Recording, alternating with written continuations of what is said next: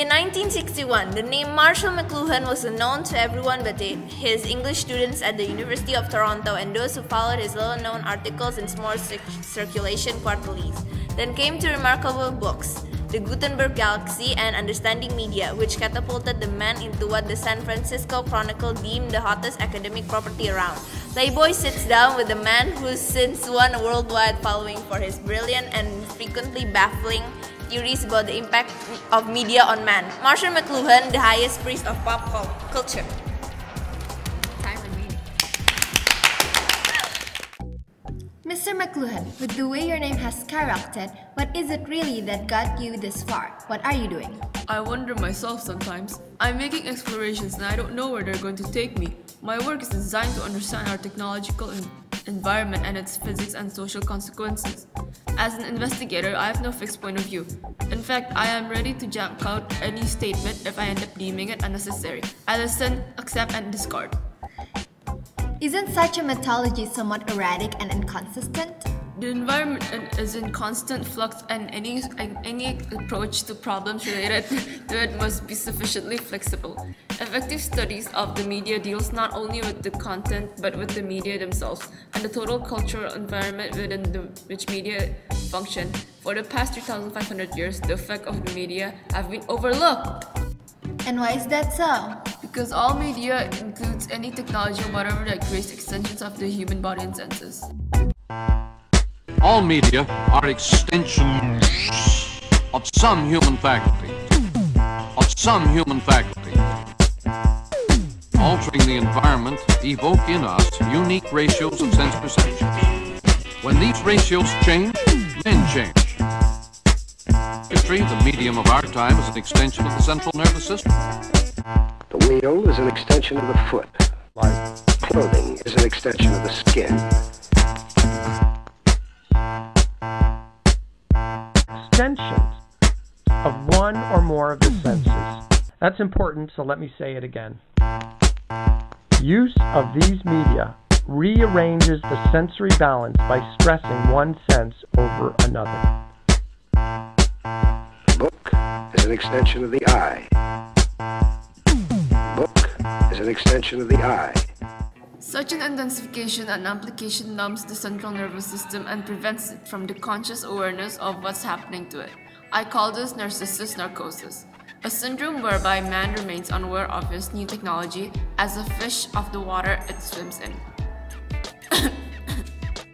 McLuhan then goes on to explain the phrase he famously coined. The medium is the message. Or shall we say the massage? The medium is the massage, an inventory of effects. The medium is the massage. Massage. Massage. The message. Massage. The message. Massage. I must stress again that societies have always been shaped more by the nature of the media with which men communicate than by the content of the communication. It is the medium itself that is the message, not the content, and the medium is also the massage. It literally works over and saturates and molds and transforms every sense ratio. We see this today with the electric media, and we saw this several thousand years ago with the invention of the phonetic alphabet, which had profound consequences on man. What were these consequences? Before the phonetic alphabet, man lived in a world where all the senses were balanced and simultaneous. There was a tribal kinship and interdependence. The phonetic alphabet fell like a bombshell, installing sight at the head of the hierarchy of senses. Literacy propelled man from the tribe, diminishing the roles of the senses of hearing, touch, taste, and smell. And how about the printing revolution? Furthermore, how did television affect the world? The printing press was the ultimate extension of phonetic literacy. Books could be reproduced in infinite numbers, and this added to the impacts of individualism and detribalization. Print tore man out of his traditional cultural matrix. The electronic media at last demesmerized us. By electric media, I mean all of which have not only extended a single sense or function as the old mechanical media did. Television is the most significant because it permeates nearly every home in the country simultaneously. It offers no detailed information about specific objects, but instead involves the active participation of the viewer. In short, I would call it a cool experience where the audience is an active constituent of the viewing or listening experience, in contrast to a hot medium that intensely provides great amounts of high definition information. It's proven that a mastery of this can lead to great powers. In politics, for example, Kennedy was able to emanate interest so effortlessly and engagingly because he was the first American politician to understand the dynamics and lines of the television iconoscope. What kind of crisis do you believe this is leading into? The new integral electronic culture creates a crisis of identity, a vacuum of the self which generates tremendous violence, violence that is simply an identity quest. Youth mindlessly acts out its identity quest in the theater of the streets, searching not for goals but for roles, striving for an identity that eludes them. To be honest, I believe before we can start doing things the right way, we've got to recognize that we've been doing them the wrong way.